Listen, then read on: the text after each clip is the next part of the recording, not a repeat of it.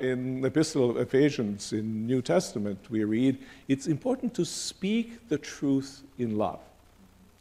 Uh, kind of sense that the other person with whom I am searching for truth, if they differ from me, if I find that I have to contrast my version of things to his or her version of things, that I don't denigrate the person, but actually that I support the person as person, even if they see things very differently than I do.